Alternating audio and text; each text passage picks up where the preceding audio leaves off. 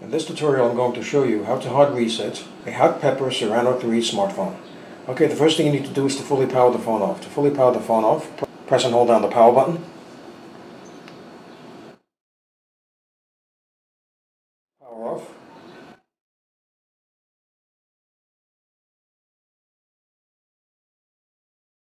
With the phone fully powered off, you need to press and hold down the power button and the volume up button at the same time.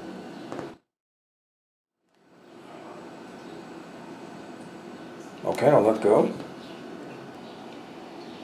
Okay, using the volume up button, go to recovery.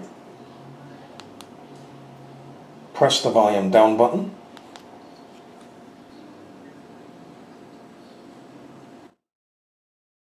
Press and hold down the power button and then tap the volume up button.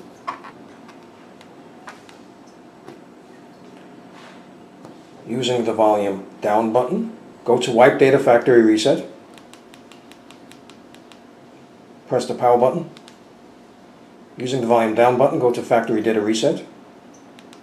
Press the power button. Press the power button.